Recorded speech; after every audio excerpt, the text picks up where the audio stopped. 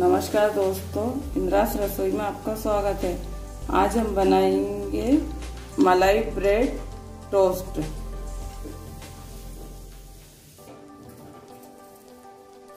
ये खाने में बहुत ही टेस्टी लगता है और बिना तेल और घी, बटर के कुछ ही मिनटों में तैयार हो जाती है ये डिश।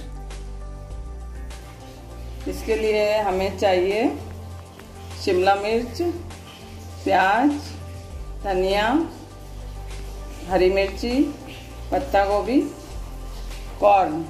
इनको हमने पहले बॉइल बॉइल करके रखा है। और सभी सब्जियों को बारीक काट लिया है।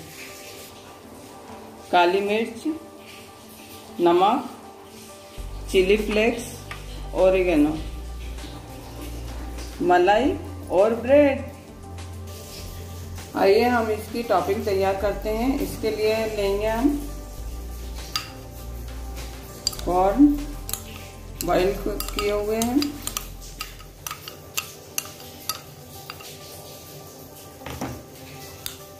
शिमला मिर्च। सब्ज़ी आप अपने हिसाब से जितनी ज़्यादा या कम चाहिए, उस हिसाब से ले सकते हैं। पत्ता गोभी।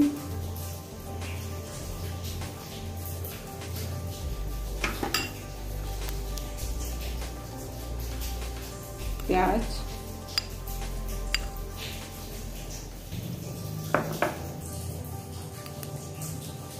मलाई फ्रेश मलाई लें।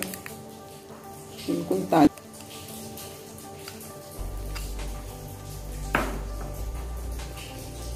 इसको अच्छे से मिक्स कर लें पहले।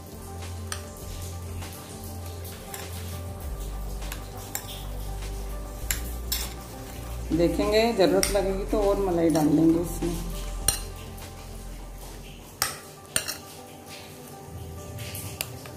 इसमें थोड़ी और मलाई डालेंगे। इसमें मलाई थोड़ी ज़्यादा चाहिए इसलिए कि इसमें ए, कोई बटर और कोई घी किसी का भी इस्तेमाल नहीं होगा। इसमें डालेंगे थोड़ी काली मिर्च नमक स्वाद अनुसार।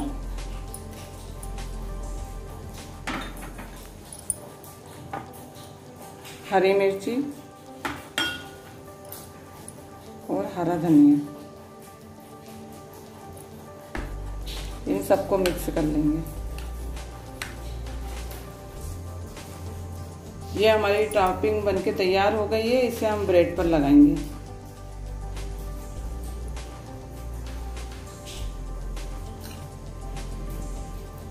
इस तरह से पूरी ब्रेड पर टॉपिंग फैला लें।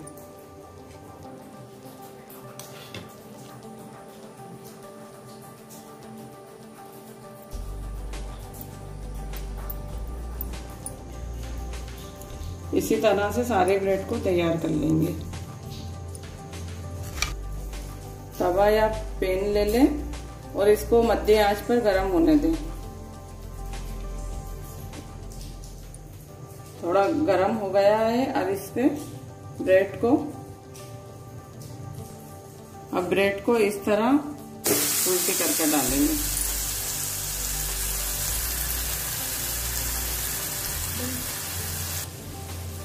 इसको ऐसे प्रेस कर लेंगे।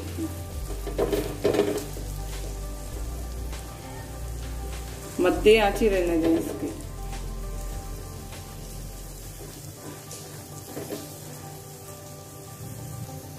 थोड़ी देर इसको ऐसे ही सीखने देंगे, पलटेंगे नहीं। इसको अब हम पलट लेते हैं। ये देखिए, पूरा मसाला चिपक गया है। अब इसको थोड़ी सी ऐसे भी सेक लेंगे। थोड़ी मध्य आँच पर ही सेकेंगे, ताकि नीचे से भी क्रिस्पी हो जाए। अब ये सिक्कर तैयार हो गया है, पीछे से भी ऐसा कड़क क्रिस्पी हो गया है। अब इसको प्लेट में निकाल लेंगे। अब इसको इस तरह से कट कर लेंगे।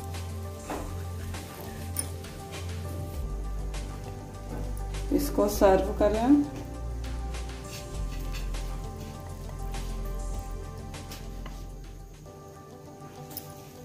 इसके ऊपर चिली फ्लेक्स